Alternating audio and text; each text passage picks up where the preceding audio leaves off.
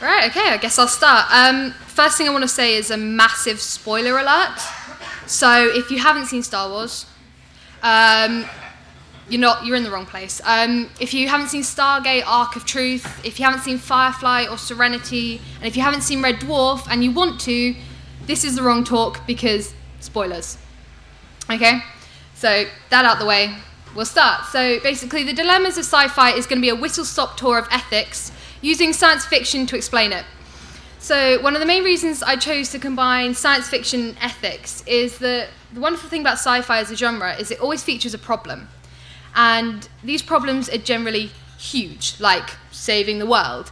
And the consequences are massive. You know, really your hero should be sitting down and going, Am I doing the right thing? They don't. We've seen this. They blunder in and somehow they save the day. So, really, one of the best things is that I can probably give you is maybe next time you're watching it and you sit back and go, Are these heroes actually being heroes? I don't know. So, one of the first theories I'm going to talk about is natural law. Now, this was first created by Aristotle, that old Greek guy, far back. And um, basically, this 12th century monk called Thomas Aquinas kind of crept along and kind of sponged off him. I really don't like Aquinas. So he basically came up with something called natural law, which was how he believed people should um, live their lives with the aim of reaching eudaimonia. Now, eudaimonia is a Greek word meaning human flourishing. So basically, you should aim to be perfect and happy. So he, Aristotle and kind of Aquinas later, he created the word telos, which in Greek means purpose. So this argument is teleological, meaning it concerns yourself with the purpose of what you're doing and what you should be kind of aiming for. So they believe that you are supremely good or perfect when you're achieving your purpose. And they believe that apparently your purpose should be happiness. So obviously you're thinking, how can I be happy? So Aquinas decided to come up with rules because that works.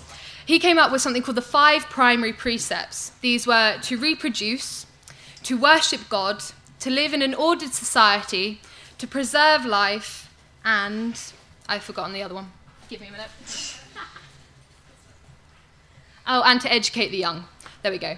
So, yeah, they're kind of five easily forgettable precepts, so you can understand why would you live by them. They're all pretty vague as well. I mean, to preserve life, what does that even mean? So, Aquinas kind of covered his butt, for want of a better word, to create the secondary precepts, which were basically to say, to preserve life, you shouldn't kill, for example. So I think one of the best examples I could find in science fiction of what might be the perfect example of natural law is Arnold Rimmer. So hopefully this will work. Where is it now? It's gone back down to the cargo bays, sleeping off a four-course meal of fear, vanity, guilt and anger. You better get it before it comes back for seconds. Just because it's an armor-plated alien killing machine that salivates unspeakable slobber doesn't mean it's a bad person. What we've got to do is get it round a table, put together a solution package, perhaps over tea and biscuits. Look at him. You can't trust his opinion. He's got no anger. He's a total dork. Good point, Kryten. Let's take that on board, shall we? David, David, do you have anything you want to bring to this forum? Well, yes, I have actually, Arnold. Why don't we go down to the ammunition stores, get the nuclear warheads, and then strap one to my head? I'll knock the smegger to oblivion. Right, well, that, that's, that's very nice, David. Let's put that on the back burner, shall we? Cat, let's have your contribution. Come on. Hey, don't ask me my opinion. I'm nobody. I'm not here? Ooh. That's lovely. Thank you very much. Thinks that I'm setting myself up as a self-elected chairperson. I have no idea what's going on. Facilitator.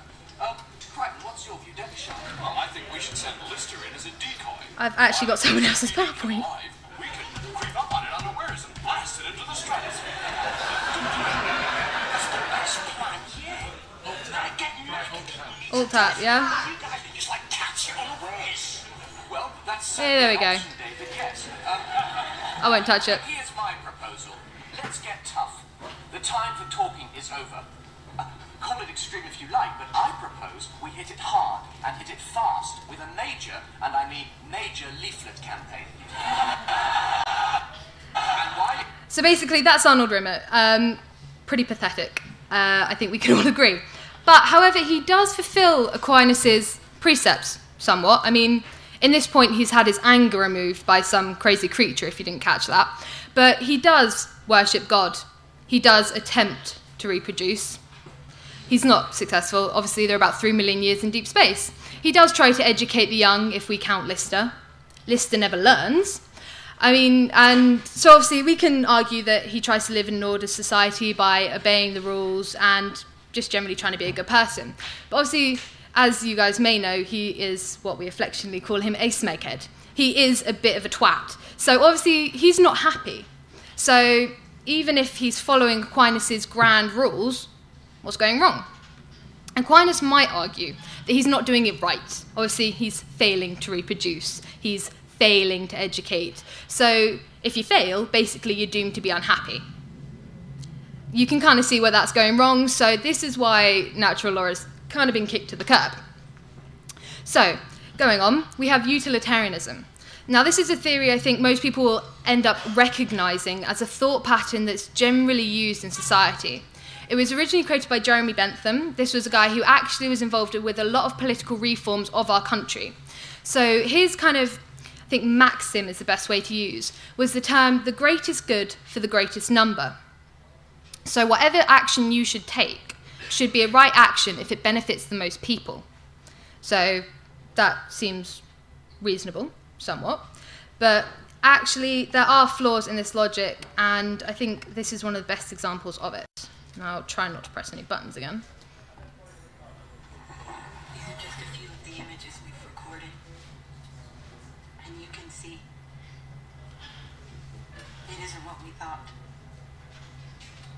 There's been no war here. And no terraforming event. The environment is stable.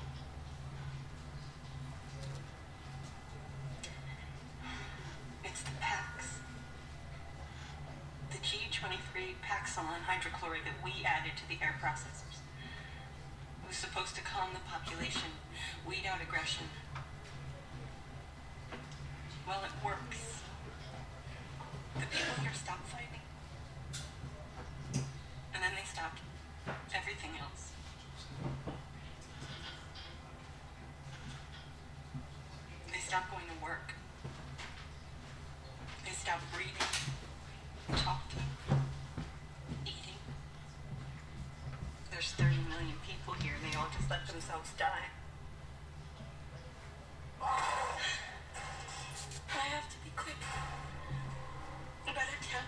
Of the population had the opposite reaction to the PAX. Their aggressor response increased beyond madness. They have become. Well, they've killed most of us. And not just killed. They've done things.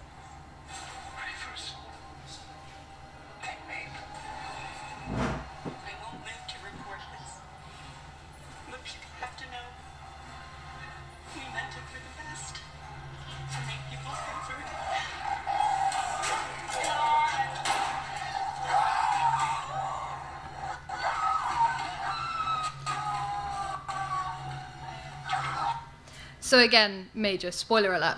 But um, Serenity is one of the best films that kind of shows you utilitarianism because they try to do the greatest thing for the greatest number. They try to create an entire world where peace was kind of enforced upon you by drugs. But they figured, yeah, why wouldn't you want a peaceful world? So they do it. But the greatest good for the greatest number isn't always the best thing because they didn't think it through. They end up killing half the people, and then the 10% turn into reavers, which kill loads of other people. So again, that is one of the major flaws with Jeremy Bentham's ideas. So a student of his, John Stuart Mill, decided to come and kind of revamp his idea by creating higher and lower pleasures of utilitarianism. And this became something known as rule utilitarianism, as opposed to Bentham's act. So, with these higher and lower pleasures, he believed that lower pleasures are those of the body, so lust, gluttony, all kind of more of the sins, which I think we can agree is embodied by Jayne as a character from Firefly. You know, he's all about the lower pleasures, whereas the higher pleasures are those of the mind. And we'll go with Simon for that one because, you know, he's intelligent, he likes to read, he likes to be smart. you know, there's nothing wrong with these guys. They're both happy. But there is one of the fundamental flaws is that Firefly shows you that these guys both make mistakes. You know, nothing is foolproof, even with your higher and lower pleasures, because if you stick to one and not the other, you're kind of just doing it wrong anyway. So, again, utilitarianism in, in the concept, it's great. You know, you should be doing the greatest thing for the most people, helping others, but you really have to think about the consequences. The next one is virtue ethics. Now, this was created by Aristotle. Aquinas didn't sponge off him. And um, he basically decided that to be a good person, you should be virtuous. You should practice your virtues and you should be perfect like that. Now, this theory differs from the others in the fact that it is agent centered. Now, agent centered as opposed to act centered means you look at yourself as opposed to the action you are taking. So to be to reach this eudaimonia that Aristotle so believed in, you had to think about making yourself perfect as opposed to making others around you perfect. So I think one of the best examples I could find was actually Star Wars, would you believe? and um, this is what I have chosen to show that will hopefully help you understand virtue ethics.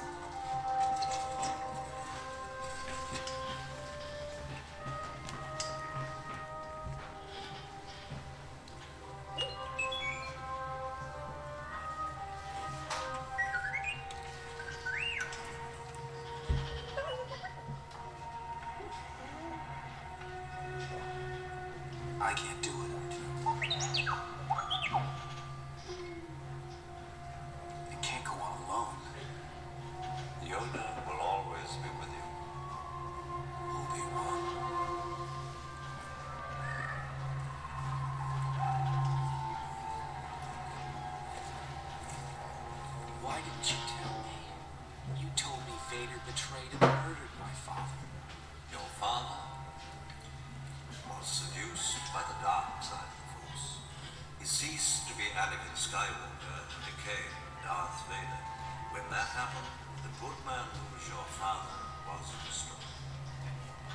So what I you was true, from a certain point of view.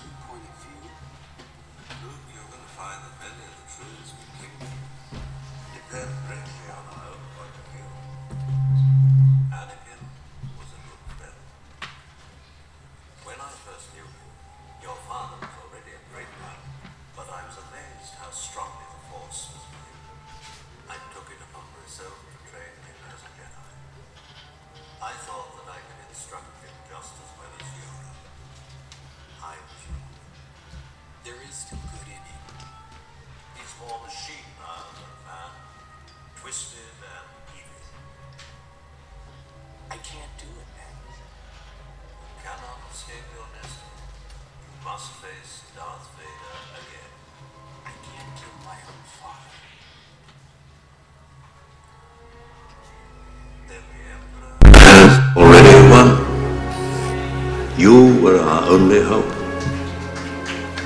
Yoda spoke of another. The other he spoke of is your twin sister. But I have no sister. To protect you both from the Emperor, you were hidden from your father when you were born. The Emperor knew, as I do, if Anakin were to have any offspring, they would be a threat to him. That is reason why your sister remains safely anonymous. Leia. So yeah, spoiler alert again. Um, I warned you guys. Um, so now we've got sound. I do apologise for anything you cannot see or hear before. Um, but yeah, Star Wars is actually a very interesting aspect of virtue ethics because, as you said, the Force. It's kind of a bit of a 50 50, and this is precisely what Aristotle was talking about because his kind of maxim, to put it into kind of today's terms, is practice makes perfect. To be virtuous, you should practice virtuous acts. So if we take the virtue courage, if you wanted to be courageous, you should do courageous acts. If we use Luke as an example, he becomes courageous because he does courageous acts like leaving his home planet, like leaving his friends to train with Yoda, and the more courageous acts he does, the more he becomes courageous. However, like Obi Wan said, it his father turned out evil. So how does that happen if his father was originally courageous? Now, if we go back to the previous films or after films, however it works, um, Anakin obviously started out good. He was courageous, but he actually embodies one of the greatest things that Aristotle said with virtue ethics, and this was called the golden mean. Now, he said virtues are essentially in the middle, and this is what you want to be. You want to be in the middle, and you want to avoid the vices, which are basically deficiencies or excesses of these vices, uh, virtues. So, if we take courage again, Anakin starts off courageous, he starts being good, he does courageous acts. But the more he attempts to be good, the more he does too many courageous acts, and he becomes so determined to keep the ones he loves that he begins to just keep doing these supposedly good acts until he turns to the dark side. So, in Aristotle's case, his courage turns to rashness because he uses too much of his virtue without thinking it through. So, in terms of virtue ethics, in terms of being happy, you should always aim for kind of the middle path and just do these good acts while thinking about how it will make you a better person rather than thinking about how it benefits other people, which again is the downfall because you will fall to the dark side, potentially. Um, the next example is Kantian ethics. Now, this was created by Immanuel Kant, and he was he took a very objective approach to ethics, which meant everything is right or wrong. There is no grey area, and he was very strict about it. He believed that you should be doing the right thing by doing your duty, duty for duty's sake. You shouldn't allow emotions or desires to cloud what you're doing. So we're going to actually go back to Serenity because I think there is a character who embodies Kantian ethics quite well.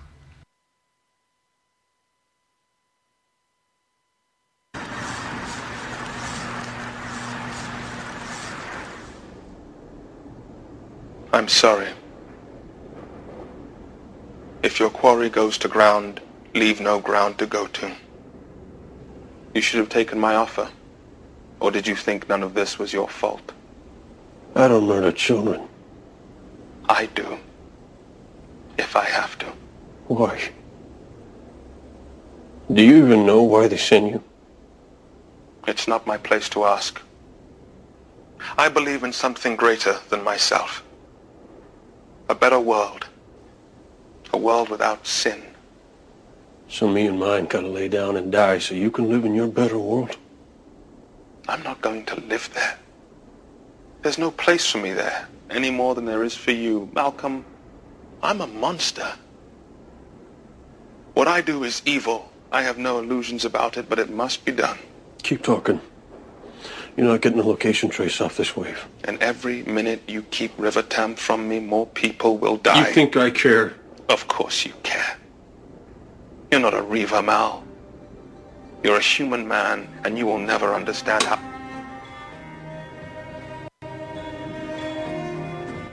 We're making a better world. The operative. So he's a character in Serenity that just just objectively goes through and just kills people. However, Kant would say that he's potentially doing the right thing because he's doing his duty. He acts how he believes others in his situation should act. He kills people saying that if you were in my position, you would do the same. And that's what Kant believes. You should use people as ends, not means. So, as opposed to maybe you use someone to get something, you should just use this person for what they are. They should just be there. And the operative does the same thing. He just kills them because they're there. And that's terrible. He's just mindlessly killing people. He's going after these people for no other reason than his government told him to. That's wrong, isn't it? But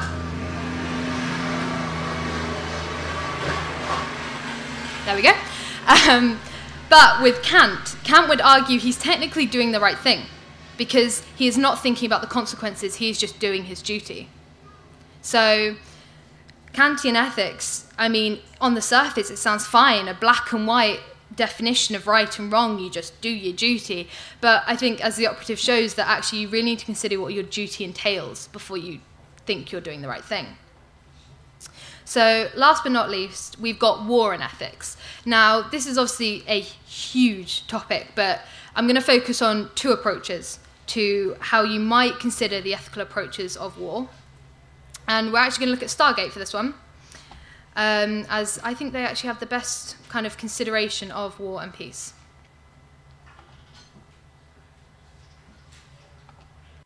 our ways any longer. Nor should we. The Ori have amassed armies and moved to destroy us. Everything we believe, all we are, is an affront to them. They will stop at nothing to destroy every last shred of evidence that opposes their fanaticism. We have no choice.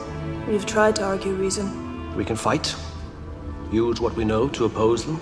We are so few compared to them. The Ark can change everything. Is forced indoctrination really the answer? You would deny the Ori the very essence of self. It is no different than the murder they propose. The only moral way to change someone's mind, make them see the truth, as you put it, is to present evidence. We believe in the systematic understanding of the physical world through observation and experimentation, through argument and debate, but most of all, freedom of will. I will not compromise the fundamental tenets of my devotion in order to preserve it. We acknowledge the incredible potential of the technology of the Ark. And the danger such power presents. It will not be used as a weapon against the Ori. The debate on the issue is closed.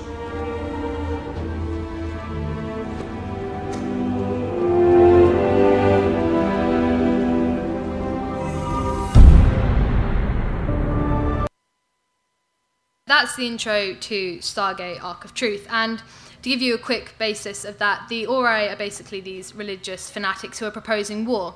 And these Alterans take a point of view called realism in opposed to war. And they realism basically presumes that there is no place for ethics and morals in war.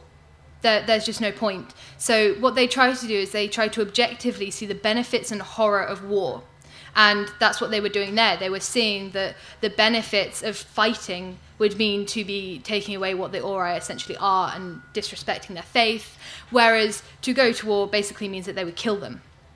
And so in the end, they decide that actually they can't fight, there is no benefit, and so they flee. They end up being killed out, so that probably wasn't the best option to take. Um, so obviously, several years, thousands, millions, a long time passes, and the American teams start to fight these um, religious zealots, basically, and they take they go to war. But obviously, you have to consider whether it's right to go to war, and there is actually an ethical way of deciding this. And this is called the just war theory. And this is split into three parts. And the first one of which is jus ad bello, obviously Latin, and that's and that is the ethics of going to war. And they basically give you all these conditions, and if you can fulfill these conditions, you are actually having a justified and essentially right war, if that's the right thing to say. So, grab my notes because I can't even remember them. Um, so, for the beginning, jus ad bello, you have the just cause. So, for this, the just cause is to free hundreds of people from being oppressed. That seems okay, right? Whereas maybe on the Ori, their reason to go to war is to just kill people. That's not a just war. So you also have things like legitimate authority. Are you, you know, are you going to war because some guy on a street corner said, "Hey, go and fight that guy"? Or are you listening to the government who say, "Actually, we need to go to war"? You also have the right intention and likelihood of success. Are you going to war for the right reasons? Are you going to liberate people, or are you just going to go and shoot some people? Are you sure that you're going to win? There is no point going to war if you know you're going to die, like the Alterans said. Um, so obviously there's a lot more categories, but then you have jus in bello, which is the ethics of conduct in war. So apparently you can actually be ethical while you fight. That doesn't sound quite likely, but if you followed the conditions of proportionality, that means that if someone guy shoots you, you really shouldn't be chucking a grenade back. That's not essentially fair, apparently. Um, discrimination and non-combatant immunity means basically you discriminate between those who are fighting you and those who are running away. You know, you don't shoot the people who are running because they have no part in this war. Um, respect your weapon laws. So obviously in sci-fi, weapon laws are a bit dodgy considering the galaxies may have different ideas. I, I, yeah. So we kind of throw that one out of the window for this one. And obviously, fair treatment of prisoners of war. You know the bad guys never treat these guys, the people they capture right. So obviously, maybe you are on the right side for supporting them. Um, and then you have jus post bellum, which is the ethics of ending a war and peace agreements.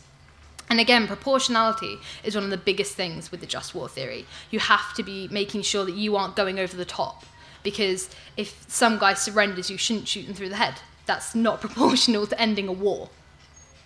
Again, you have discrimination and punishments. You have to be able to discriminate between the people you're punishing. There's no point punishing civilians because they had nothing to do with it. You need to punish like the leaders and the soldiers potentially for what they've done. You also have compensation and rehabilitation in the um, jus post bellum, and this is to make sure that the right people are getting the right help, and you know you compensate those who have lost what war has taken away from them.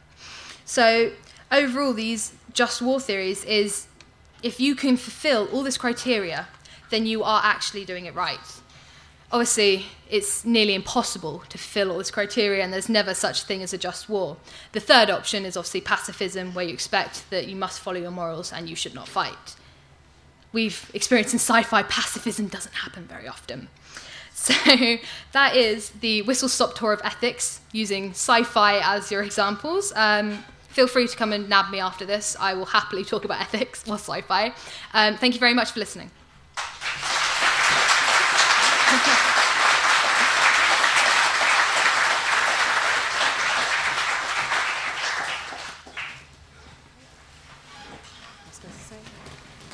Thank you very much. Um, if anybody wants to volunteer for. Um, oh, we, have we got any questions?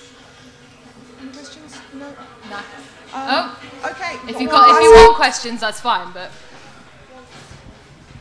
Yeah, it's just this small thing. You talk about Kantian ethics and how supposedly because this man was doing his duty for his government by killing all these people that he was doing the right thing.